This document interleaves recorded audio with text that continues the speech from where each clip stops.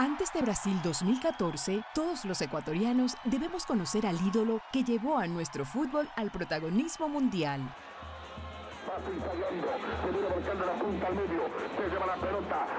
Marcelo.